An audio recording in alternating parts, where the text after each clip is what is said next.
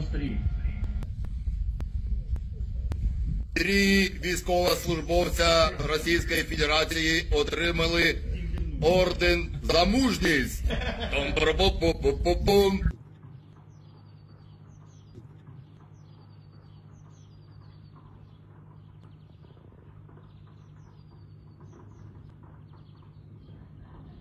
Вот это лучшее вооружение. Отжатая техника. Вот. Их, ихним же оружием будем их гатить.